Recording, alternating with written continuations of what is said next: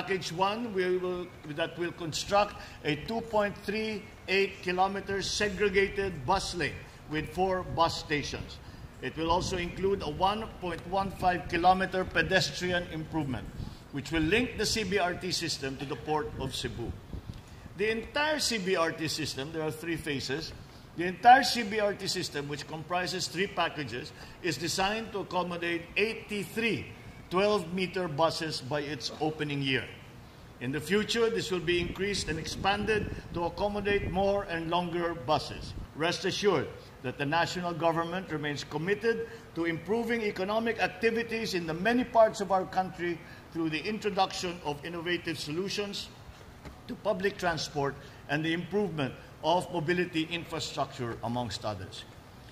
My administration resolutely supports you in exploring ways to improve our public transport systems and in forging partnerships that will help the Philippines keep up with the innovative interventions of other progressive countries.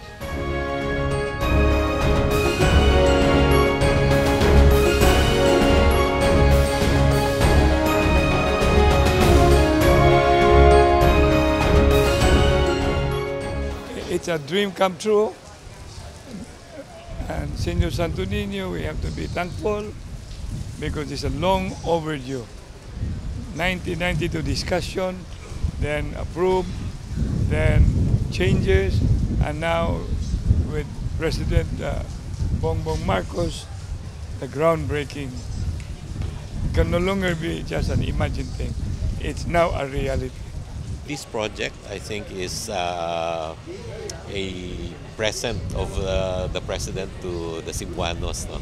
I know that uh, the Cebuanos uh, really supported the president. No? And uh, I think uh, it's one way of the president giving his thanks and appreciation to the Cebuanos. No?